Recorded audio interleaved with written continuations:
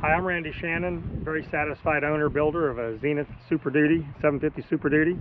It's got the uh, Continental Titan IOX 370, 195 horse on it, so it really performs. It gets off the ground really quick, uh, less than 200 feet. A little bit of wind, it can be less than 100 feet. It uh, cruises along really nicely, 95 to 100, 105, no wind.